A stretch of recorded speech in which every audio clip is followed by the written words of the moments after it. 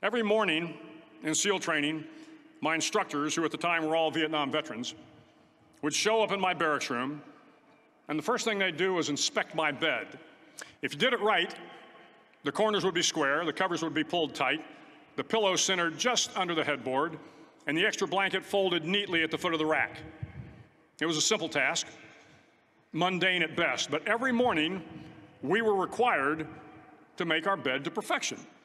It seemed a little ridiculous at the time, particularly in light of the fact that we were aspiring to be real warriors, tough, battle hardened SEALs.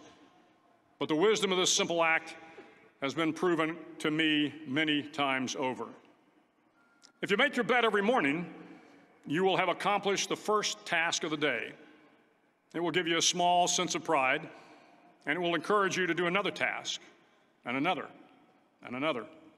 And by the end of the day, that one task completed will have turned into many tasks completed. Making your bed will also reinforce the fact that the little things in life matter. If you can't do the little things right, you'll never be able to do the big things right.